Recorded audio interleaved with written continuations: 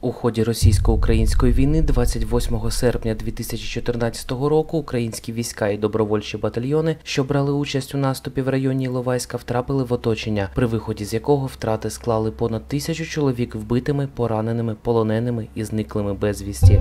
Російсько-українська війна, яка почалася в березні 2014 року з анексії Криму, у квітні-травні перекинулась на схід країни, де проросійськими активістами були захоплені адміністративні будівлі в Донецьку і Луганську. Задекларували намір провести референдум про вихід зі складу України. Перші бойові зіткнення сил антитерористичної операції, розпочатої Радою нацбезпеки та оборони України в ніч на 13 квітня, і сепаратистів почалися 2 травня, коли в небі над Слов'янськом було збито гелікоптер сил АТО. А 22 травня, після нападу на табір під Волновахою, у якому загинуло 18 українських військовослужбовців, бойові зіткнення між ними стали регулярними.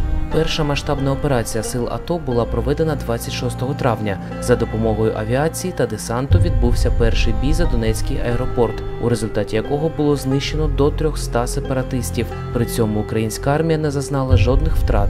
4 червня сили АТО повністю звільнили Красний Лиман, 13 червня Маріуполь, 5 липня Слов'янськ і Краматорськ. Наступного дня Артемівськ. А основні сили сепаратистів, які значною мірою стали посилюватись громадянами та армійським озброєнням з Росії, перемістились на південь Донбасу. Наступ збройних сил України продовжився і в серпні, коли практично в кільце був взятий Луганськ. А воєнізовані формування ДНР відступили із Северодонецька, Лисичанська, втратили контроль над Саур-Могилою, що відкрило перспективу оточення Донецька і Горлівки. З цією метою 10 серпня розпочались бої за Іловайськ силами армійських частин, які налічували до 600 чоловік. Неправильно оцінивши ступінь захисту міста, штабом АТО для його захоплення були направлені невеликі підрозділи кількох добровольчих батальйонів у загальній кількості близько 700 чоловік, котрі лише через два дні зуміли взяти під контроль західні окраїни Іловайська. Завдяки наданій підтримці з боку армійських підрозділів, 18 серпня ударні групи Дніпра та Донбасу зайняли більшу частину міста. Проте розвинути успіх не змогли. Після перших невдалих спроб наступу підрозділи батальйонів Азов та Шахтарськ залишили місця бойових дій і відбули на позиції під Маріуполем. А батальйон Івано-Франківськ у повному складі менш ніж за добу подолав півтори тисячі кілометрів і прибув до Івано-Франківська. Це ослабило українські позиції під Іловайськом. І 19 серпня, отримавши підкріплення живою силою із Донецька і за підтримки артилерії та реактивних систем залпового вогню, збройні формування ДНР перейшли в контратаку. Лише 21 серпня командування АТО направило до Іловайська важку техніку і підмогу живою силою, яка, однак, так і не з'єдналась з добровольчими батальйонами. Натомість з території Росії почався масовий обстріл українських позицій на південь від міста. А 22 серпня у битву за Іловайськ вступили частини регулярної армії Росії, які перетнули міждержавний кордон. 24 серпня командування АТО повністю втратило контроль над ситуацією. Після того, як командний пункт командувача сектором був розбитий, кілька підрозділів зазнали катастрофічних втрат, а вцілілі військовослужбовці попали в полон.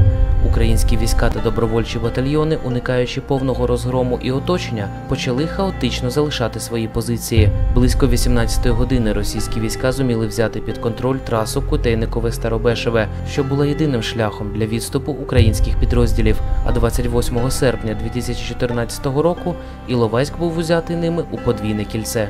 29 серпня між вищим політичним та армійським керівництвом України і Росії була досягнута усна домовленість про транспортний коридор для виведення оточених сил АТО. Однак, у зв'язку із постійним перенесенням точного часу відступу і його умов, генералом Русланом Хомчаком, який перебрав на себе керування оточеними військами, було прийнято рішення про негайний вихід із оточення бойовим маршем, який почався о 10 ранку, незважаючи на домовленість.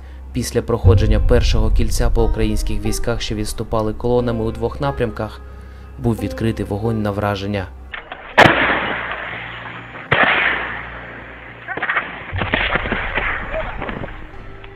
Байки не ребите, я мать, блядь! Давай, блядь! Давай, все, отстану, блядь! Всё, блядь! За даними Генштабу ЗСУ, безпосередньо під час виходу з так званого зеленого коридору загинуло 129 осіб. Поранено 18, зникли безвісті 22 особи, потрапило у полон 10 осіб. Пробиваючись із боями, українські війська відступали з Іловайського котла до 4 вересня, зазнавши значних втрат.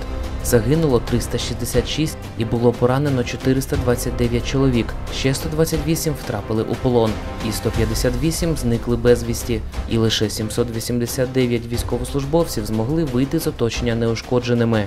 За різними оцінками, з боку росіян у боях під Іловайськом загинуло не менше 150 чоловік. З боку збройних формувань понад 330 і ще близько 200 чоловік були поранені.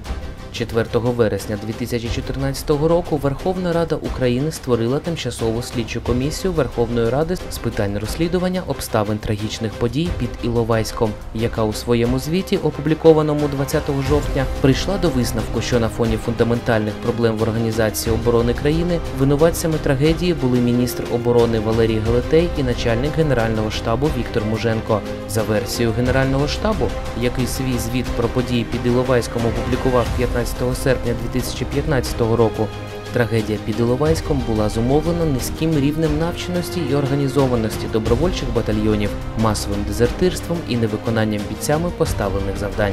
Наразі, а саме 24 серпня 2019 року, Президент України Володимир Зеленський підписав указ про щорічне відзначення 29 серпня як Дня пам'яті захисників, які загинули у боротьбі за незалежність, суверенітет і територіальну цілісність України.